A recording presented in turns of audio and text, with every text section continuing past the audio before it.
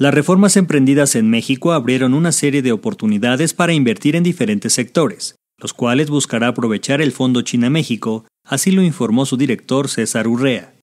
El fondo es un fondo de capital eh, de riesgo y de infraestructura con 1.200 millones de dólares.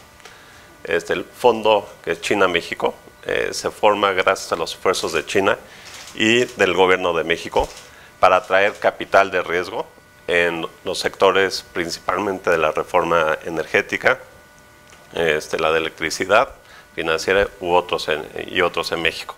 Detalló que el fondo se logró gracias a los esfuerzos de ambas naciones para tomar oportunidad de esas inversiones en los diversos sectores a lo largo de cuatro años.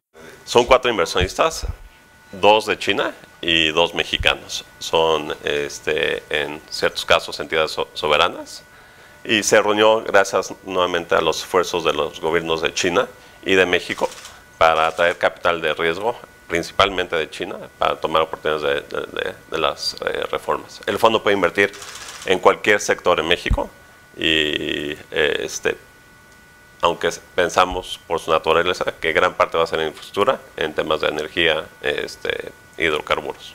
Finalmente destacó que fomentar una mejor relación entre ambos países genere un intercambio desde lo cultural hasta de confianza, así como abrir nuevas oportunidades para los inversionistas. Mi meta es que se repita otro fondo por un monto eh, similar. Eh, eh, nuestra meta y por lo que trabajamos todos los días es que se invierta correctamente el, capital y sí atraiga unos retornos importantes para los inversionistas, que sí, haciendo eso, nos facilita atraer más capital. Con información de Roberto Nogués e imágenes de Enrique Romero, Notimex.